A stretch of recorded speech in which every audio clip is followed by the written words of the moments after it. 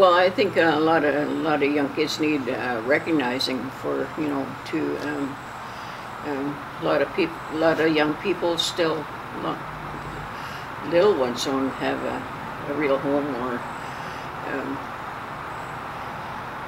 a lot of them, a lot of them need care. A lot of people turn to alcohol and, you know, drugs and worse now with drugs and, um,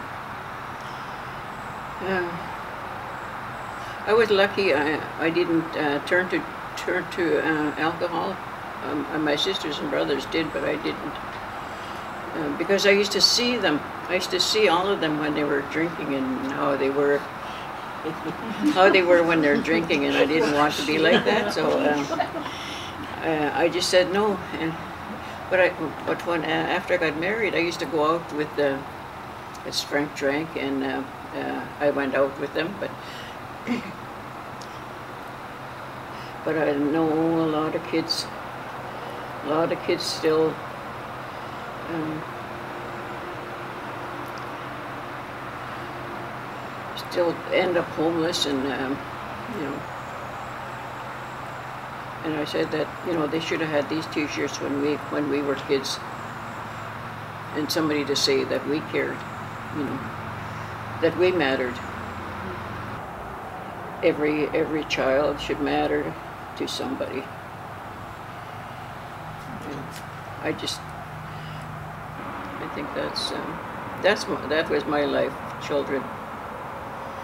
Yeah, Children and elders. I always help children and elders. And I think, um, I think they need to have one that every grandparent matters to. Ah. Yeah, Right on. yeah. Grandparent hour. I think it's important for us to celebrate it because when my parents were children, they weren't just children, they were little warriors. And they survived, even though they were beaten and stripped of their culture and their way of life. They still survived you know? And, you know, they survived. My parents survived, but they carried the pain.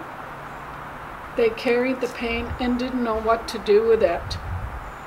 And in return, because they were stripped of their way of life, and then they had us, our, you know, their children. We didn't have what they had before they went to the residential school. You know, um, they all lived together. Um, they all worked together. Um, they lived a really good life. You know, and when I was a kid, majority of the time my life wasn't good. You know, I was emotionally and physically abused by my parents.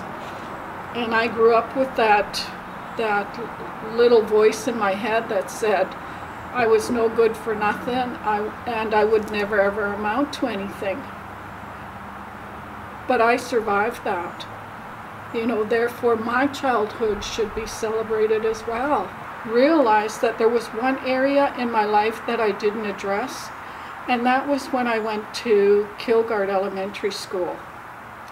You know, I'll, I'll never ever forget that first day of school, you know, six years old, and my mom had braided my hair, really tight French braids. And I was so excited to go to school. And we walked up the hill. She came with me, brought, brought me to the door, and the teacher, you know, says, Go and find your desk, you know. So I go in. And as soon as the door was closed, my mom was gone. You know, this, this teacher decides that, you know, like, she says, I want you all to introduce yourself. And I was very shy. And um, I'm the first because I'm sitting in the front row, and she says, What's your name? And, and I just put my head down. I was so terrified of her because she was so gruff. She asked me again, and I put my head down and I, I wouldn't answer her. She asked again, and I mumbled, Louise.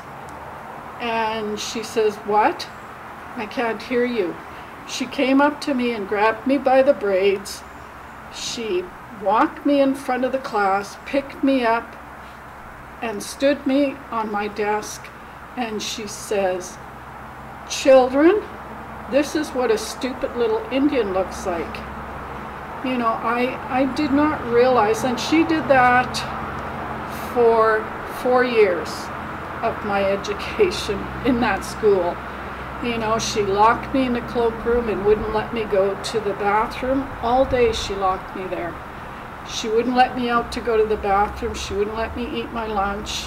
And, you know, sitting in there all day, I need to go to the bathroom. She wouldn't let me out, and I ended up peeing myself. And she would take me again, grab me by the braids, and stand me on my desk, and she would say, Children, this is what a dirty little Indian looks like. And I, um, I carried that deep, deep, deep, deep inside of me. I learned to take care of myself. You know, even though I did that, that was just, um, I'm not sure how to describe it. But after choices, I learned that I'm a strong woman, you know, and that I'm not what that teacher, Mrs. Baker, said I was. I'm not a dirty little Indian, and I'm not a stupid little Indian. Therefore, you know, when I put this t shirt on, I'm celebrating that little girl because she learned to become a smart little girl. celebration for one shirt, I, I feel that that's where we gather all, we should gather all of, all the survivors of the school, all schools. They may share, share a story, may be sad, but you know, they're speaking from the heart, not their mind. It's the experience that they, they had, they lived. And it's important that, that every child matters. That's why we have the shirts and we wear them. And again, I just like to say, you know, find an elder for that day, send them flowers, whatever you can do, just to lift their spirits for that day because a lot of a lot of the memories flow back with them. We have very few of them left.